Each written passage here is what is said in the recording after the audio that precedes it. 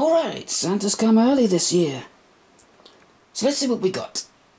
Well, first of all, a solid state hard drive because I really thought it was about time I upgraded. I'm still going to be using spinning hard drives to save things like videos and projects and things on, but for the Windows installation and games and programs and things, yeah. Also got this fly, electronic fly killer because tons of them in the room and uh, this thing doesn't seem to be doing anything. And also a new hard drive dock. Now you may remember seeing one like this in my previous videos a long time ago. A friend got one of those for me. Well, that sadly no longer works because I accidentally broke the USB cable um connector on it, so so I got this one. And this can do just about everything. Card readers, IDE, SATA, and um this weird connector here. I've got a hard drive that fits that in my, in my shed, which I have never been able to use, so uh, yeah. Might even be able to see what's on that one. This stuff has all come in from the cold, so I just want to let it climatize and a constellation. Um, constellation? Concentration? Constellation? No, I tried that word. Condensation, that's the word. So any condensation that's in there is gone? Now try them out. I guess this thing must have batteries in it because I haven't even plugged it in and uh,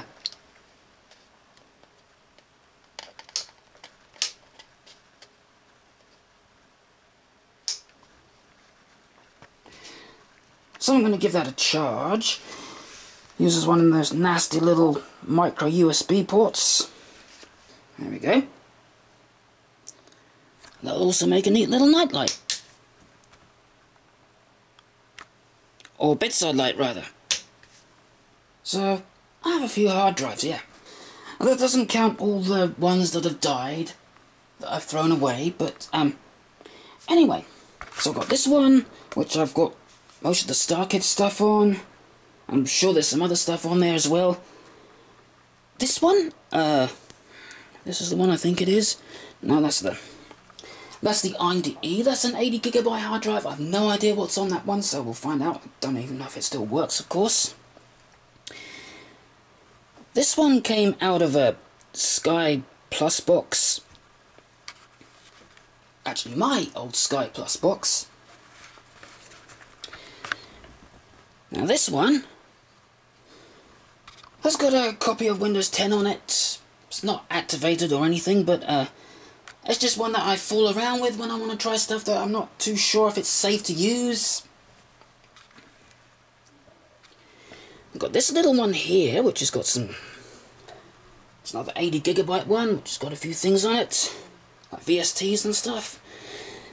And this is the one with the weird ass connector, which I've Never even seen before on any other hard drive, but apparently this has it, so... Actually, I meant uh, that one down there. Alright, this is connected up and I'm ready to go. So first I'm going to try this little hard drive. This is a, a SATA hard drive. So I'll just plop that in there. Make sure that's in there nice and secure. Turn this on. Let the hard drive spin up.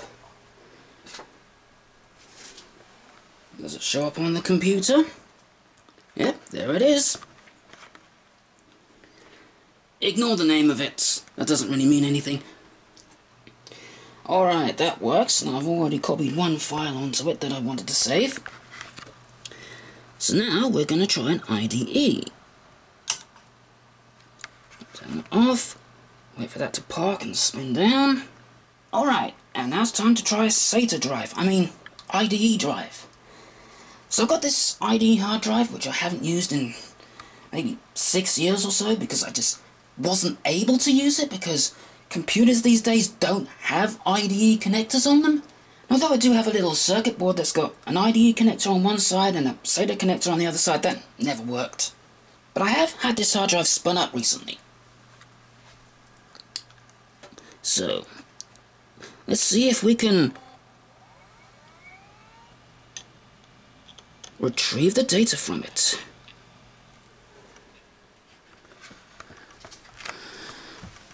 Alright, we've got a local disk G appeared on the screen. I think that is this hard drive. Yeah, I can hear it doing stuff, so uh,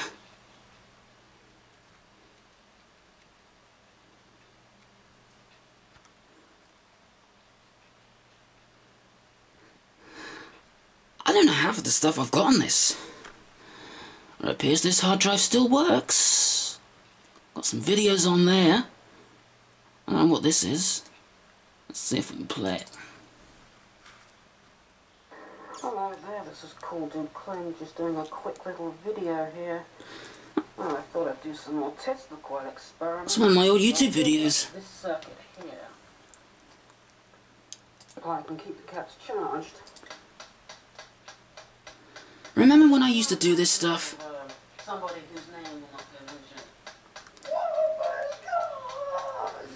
Yeah, I'm gonna get back to this eventually. Making sparks.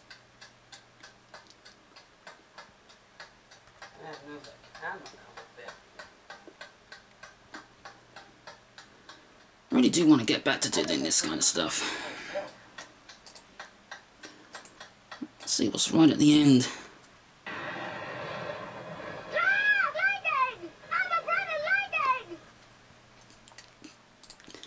Yeah, I remember putting that there. Let's see what else we got. Got music. Oh, that's seriously outdated now. Pics? What's in pics? It's Tails and Yoshi. The two cutest video game characters ever. You know me, I'm a Tails fanatic. No, I like that.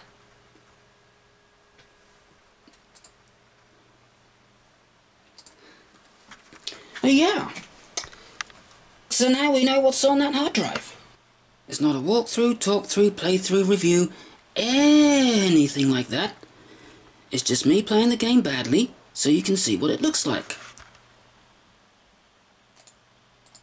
I think he still says that, actually. Yeah, you can tell I'm a furry when I save pictures like this. So, we know IDE works, and we know SATA works. Actually, which one is... Okay. Okay, I got them the wrong way around, but you get the idea. Now, this is the one that came out of the Sky Plus box. And I don't know if this hard drive still works, because when I still had that circuit board, you know, with the SATA on one side and IDE on the other side, I tried to read the data off this disk, and I didn't get anywhere. I tried to format it, and in doing all of that, I may have permanently damaged this anyway. But if it is still readable, we may be able, we may be able to still see the files on there. That is, if they haven't been destroyed, or not in some proprietary format that Windows cannot read. Either way though, it's more storage, and that's what really matters. Alright, let's see what happens. I remember that sound.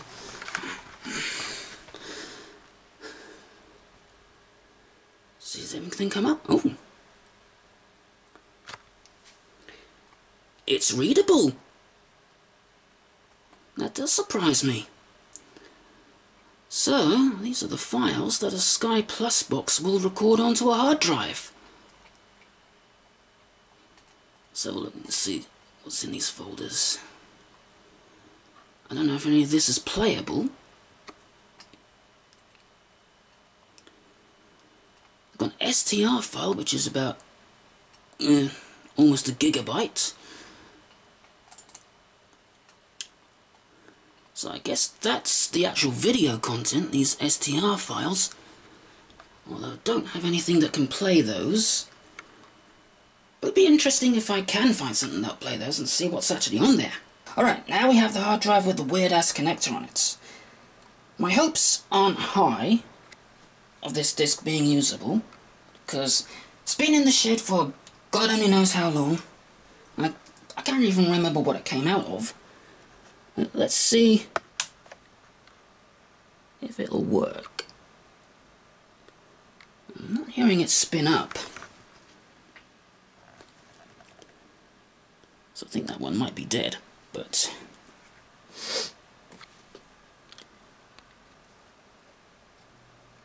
Like I said, my hopes aren't high for that one. Okay, well I don't know which is which here. So I've got a SD card in there and a hard drive and I think G might be the hard drive and F might be the SD card.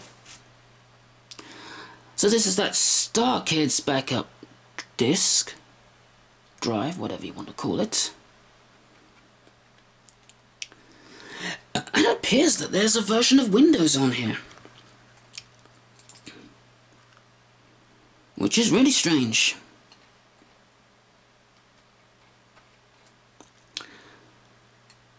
Seems to have got episodes 1 through 7 in there.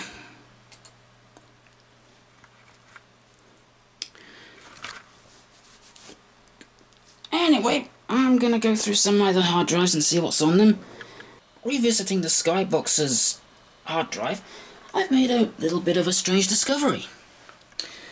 So, this is the hard drive right here, at least I think it is. Let's just make sure that I'm... Alright, yep, it is. Now, you can see there it says 148 gigabytes free of 149 gigabytes, indicating that this is a 160 gigabyte hard drive with barely anything on it. Yeah, if I highlight all the folders here, and just see how much is actually in there, we have about 79.4 gigabytes.